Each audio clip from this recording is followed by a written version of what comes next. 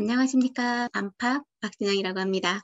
오늘은 ZoomIt이라고 하는 간단한 유틸리티에 대해서 설명을 해드리려고 합니다. 이미 다운받아 놓은 ZoomIt이라고 하는 프로그램을 실행을 시켜보도록 할게요.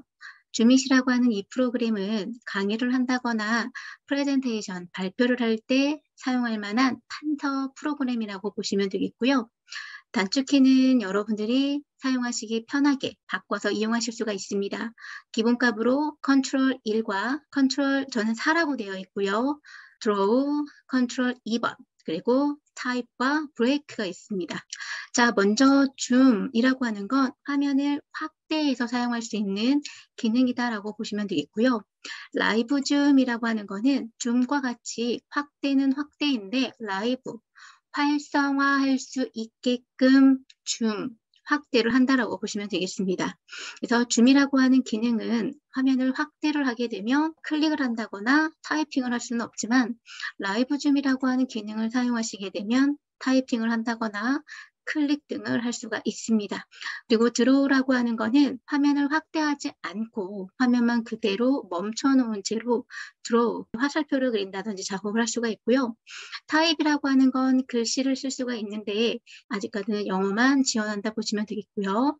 break라고 하는 거는 중간에 쉬는 시간을 주고자 하는 경우 10분 타이머를 줘서 10분간 테스트하겠습니다. 혹은 10분간 휴식 시간을 갖겠습니다. 라고 해서 이렇게 break time을 줄 때 사용하는 기능이다 라고 보시면 되겠습니다. 저는 draw라고 하는 기능이 컨트롤 2번으로 있고요. live zoom은 저는 컨트롤 3으로 고쳐보도록 하고 컨트롤 3이었던 break를 컨트롤 4로 고쳐보도록 하겠습니다.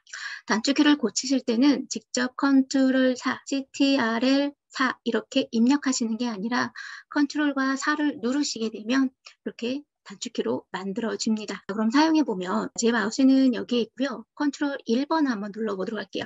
제가 현재 아무것도 열려있지 않은 상태이기 때문에 시작 버튼을 눌러서 한번 확인을 해보도록 하겠습니다.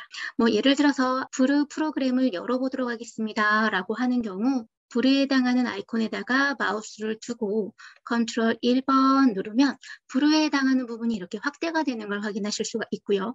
클릭하지 않으면 계속해서 마우스가 움직이기 때문에 클릭을 한번 해주시고 제가 사용하는 화면은 어두운 화면이기 때문에 파란색으로 되어 있는 것보다는 노란색 마커가 조금 더 하이라이트가 잘 되는 걸 확인할 수가 있습니다.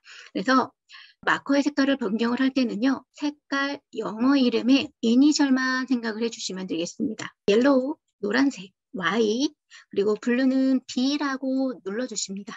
키보드에서 B를 누르시게 되면 이렇게 파란색 마커로 변경이 되고요. Red, R 눌러주시면 빨간색, 그리고 G, green이 있습니다. 그리고 핑크 이렇게 색깔을 이용해서 마커를 사용할 수가 있고요.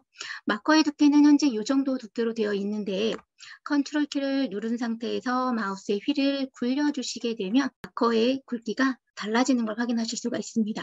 컨트롤 키를 누르신 상태에서 반대로 굴려주시게 되면 이렇게 마커의 라인이 얇아지는 걸 확인하실 수가 있고요. 이렇게 확대를 해 놓으신 상태에서 마우스의 오른쪽 버튼을 클릭하시게 되면 화면 확대한 부분에서 다른 방향으로 화면을 이렇게 이동을 하실 수가 있습니다. 이동하시고 다시 한번 클릭을 하시게 되면 그 화면에서 멈춰지는 걸 확인하실 수가 있고요. 뭔가 강조를 하시는 경우에는 컨트롤 키를 누르신 상태에서는 사각형이 그려지고요. Shift 키를 누르신 상태에서는 직선을 그리실 수가 있습니다. 그리고 컨트롤과 shift를 같이 누르신 상태에서는 이렇게 화살표를 그려주실 수가 있고요. 이제 다시 활성화하기 위해서 현재 화면에서 원래 화면으로 돌아가야 된다라고 하는 경우에는 ESC 키를 눌러주시게 되면 초기화가 되면서 원래대로 돌아오는 걸 확인하실 수가 있고요. 컨트롤 2번은 화면은 확대하지 않은 채로 이렇게 판서할 수 있는 기능으로 화면을 멈추는 기능이다라고 보실 수가 있습니다. 나머지 기능은 동일합니다. 그리고 마우스의 휠을 굴려주시게 되면 화면이 확대가 된다거나 이렇게 화면을 줌 해놓은 상태에서 사용하실 수가 있고요. 이 역시 ESC 키를 눌러서 원래대로 돌아올 수 있습니다. 이번에는 break time. Break time은 컨트롤 4였는데요.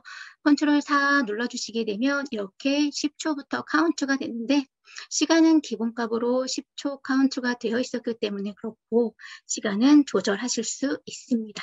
한 가지 흠이라고 하면 따로 알람이 울리지는 않습니다. 10분이 지나더라도 알람이 울리지는 않고요. 마이너스 1분 이런 식으로 마이너스로 선택이 되는 걸 확인하실 수가 있어요.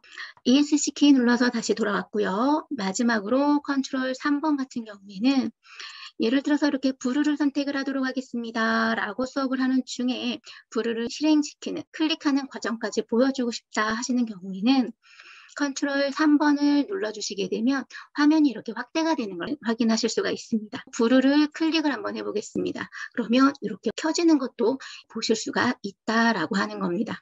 그래서 아이디와 뭐 비밀번호를 입력하고 로그인 해 주세요 라고 하는 경우에 여기에다가 뭔가를 입력을 하면 화면이 확대가 되어 있는 상태에서도 입력이 가능한 활성화된 확대 Live zoom이라고 볼 수 있습니다. 다만 live zoom 같은 경우에는 화면을 멈추는 그러한 기능과는 달리 ESC 키로 초기화를 시켜주는 게 아니라 다시 한번 컨트롤 3번을 눌러서 원래 크기대로 돌아올 수 있습니다. 이렇게 판서 프로그램을 이용해서 이렇게 체크를 한다거나 그려준다거나 이렇게 표시를 할 때 여타 프로그램과 동일하게 컨트롤 키를 누른 상태에서 Z 기능을 이용하면 실행 취소가 가능합니다. 이 프로그램도 10번 정도까지만 되긴 하지만요. 내용들을 실행 취소를 할 수가 있습니다. 어려운 프로그램은 아니기 때문에 한번 실행을 시켜보시고요. 제가 포스트에 올릴 때 이 프로그램도 같이 올려놓도록 하겠습니다. 따로 저작권이라든지 크게 문제가 되지 않는 프로그램이기 때문에 자유롭게 사용하실 수 있는 프로그램이다라고 보시면 되겠고요. 강의를 가는 경우에는 exe 파일 하나만 가지고 다니시면 언제 어디서든 카피해 놓고 사용을 해주실 수 있겠습니다. 궁금하신 사항은 댓글로 남겨주시고요. 줌에 대한 강의는 여기서 마치도록 하겠습니다. 좋은 하루 되세요.